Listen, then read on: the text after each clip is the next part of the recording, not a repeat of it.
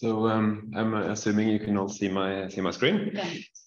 Um, yeah. Uh, thanks. Uh, on on the tracker team, um, we um, uh, we have some exciting exciting news on the um, on the Capture app. It um, is uh, starting to take shape, and and we are closing in on the on the feature parity. We also have the the Capture app being continuously released, and I'm going to go to get a little bit into that.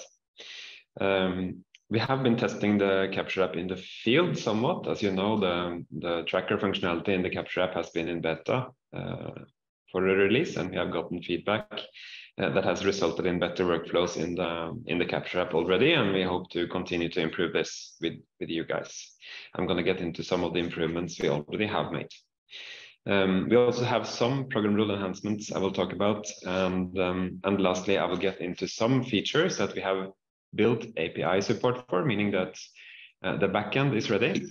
Uh, and now that we have a continuously released Capture app, we will soon have the front-end parts of this, uh, these changes ready. This is uh, relationships, this is uh, referral functionality, and the program stage working lists, uh, which is on the way and will soon be released on, on um, continuous delivery.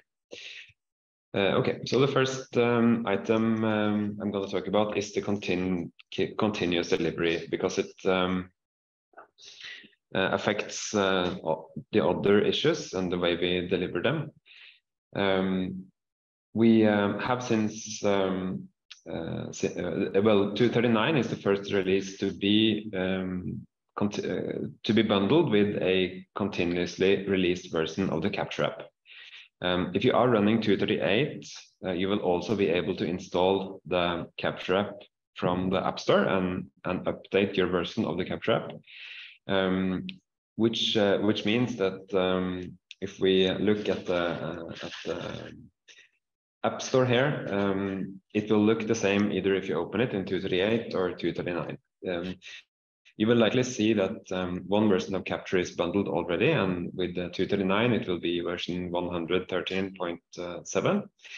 Um, opening this um, this entry in the app management app, you will be able to upgrade to the latest version and, and see which one you have installed. So um, I'm doing that there.